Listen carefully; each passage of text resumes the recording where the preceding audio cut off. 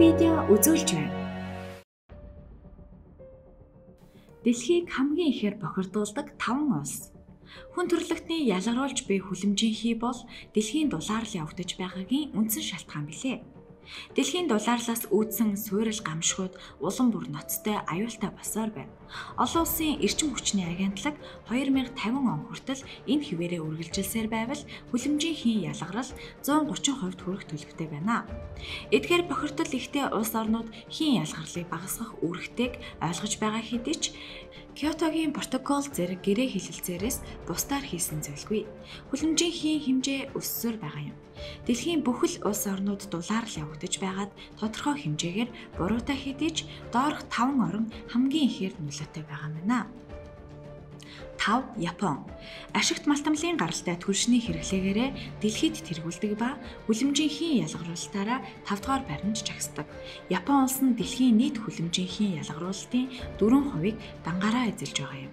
Энэ нь хотчлт аж үйлдвэрлэлийн хөгжилдөө хит их анхаарал хандуулж байгаль орчны асуудлыг орхитооснаас шалтгаалжээ.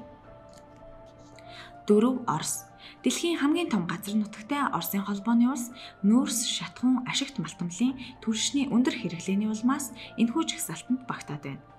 Мөн өнгөрсөн хугацаанд нүүрлсэн хид хідэн байгалийн гамшигт үзэгдэл ой модыг их хэмжээгээр устгах, ан агнах зэргээс үүдэн тус ус нийт хүлэмжийнхээ 5%-ийг ялгаруулж байна. 3 энэтхэг Дэлхийн хамгийн их бохирдолтой 15 хотын 14 нь энэтхэгт байдаг хэмээн Дэлхийн эрүүл мэндийн байгууллагаас мэдээлжээ.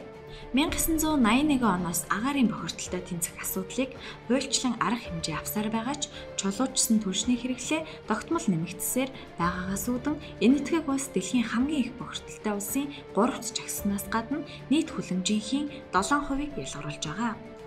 2. Америкийн нэгдсэн улс Дэлхийн аж үйлдвэрийн болон худалдаа үйлчилгээний төв болох Америкийн нэгдсэн улс нь нийт хүлэмжийн ялгаруулалтын 15%-ыг эзэлж байна.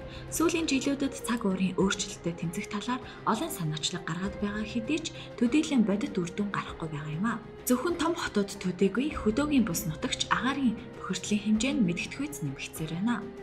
1 Хятад Дэлхийн гадаад худалдааны томоохон зах зээл болох Хятад улсад аж үйлдвэр хөгжихийн хэрээр байгаль орчны асуудал хурцтай төвшөнд хүрээд байна.